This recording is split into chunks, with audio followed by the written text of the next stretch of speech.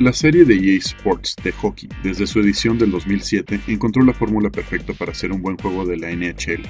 Dar el control del palo de hockey de los jugadores al stick derecho del control. Esto vuelve más intuitivo el control del disco para burlar a los rivales y realizar tiros a la portería. Ocho años después nos encontramos con que el esquema de control sigue siendo muy parecido. Casi todo se controla con el stick derecho, salvo por los pases y algunos movimientos defensivos. La verdad es que el éxito del juego consiste en que el control es muy intuitivo. Las novedades consisten en que han mejorado la física del juego, las colisiones entre personajes son más reales y la reacción del puck es mucho más impredecible. Esto hace que cada jugada sea diferente y que no todos los goles se sientan iguales. En el aspecto visual, los jugadores se ven más detallados, se enfocaron mucho en la textura de la ropa, la tela se comporta de una manera más real, el público se ve más variado, ya no todos los espectadores reaccionan igual y al mismo tiempo, todavía se sienten un tanto robotizados, pero ya hay más variedad.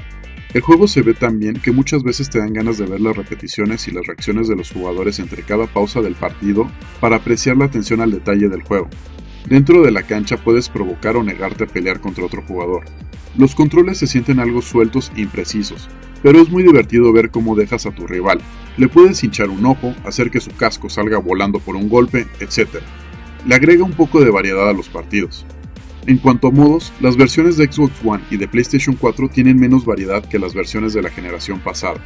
Suele ser normal que los juegos deportivos que se estrenan en una nueva generación de consolas tengan menos modos y características especiales, porque se puede considerar un año de transición. Aún así, ves los menús del juego y sientes que faltan cosas, aunque EA ha asegurado que en los próximos meses agregarán más modos de juego. En cuestión de equipos, aparte de tener todos los equipos de la NHL, hay muchas ligas europeas como la alemana y la suiza, y también hay selecciones nacionales. Lo mejor de NHL 15 sin duda es la acción dentro de la cancha.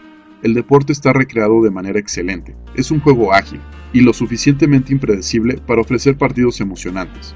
Si te gusta el deporte o tienes curiosidad por probar un juego de hockey, no quedarás decepcionado.